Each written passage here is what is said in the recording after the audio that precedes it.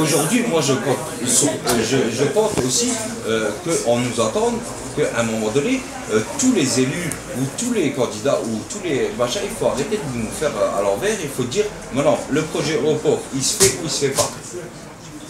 C'est oui ou c'est non. Et comment ou comment? Parce que le Luxembourg, il ne se pose pas de questions.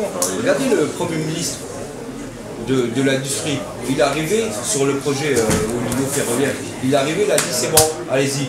Oh, c'est une tour là-haut. Bon, bah, c'est un bon message.